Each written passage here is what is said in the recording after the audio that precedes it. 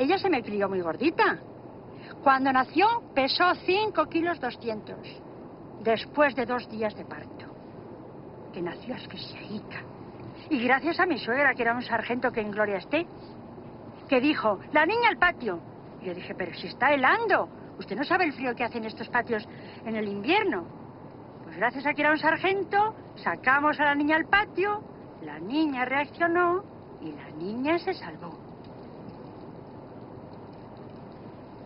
¿Te acuerdas, Leocadia? Mamá, ¿cómo me voy a acordar de eso? No, sí, digo de la poesía que saqué al pueblo. Qué hermosa está la mañana, Leo. La luz del sol centellea. Las flores dan sus perfumes, sus rumores, la arboleda.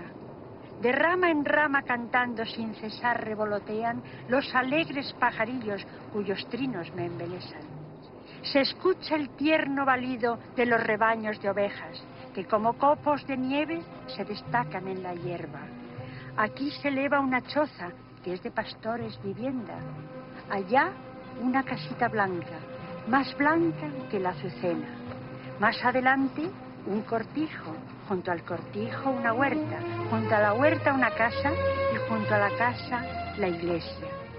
Lleno de encinas está el monte, rica de fruta la vega, el río con muchos árboles. ¿No lo sabéis? Es mi aldea.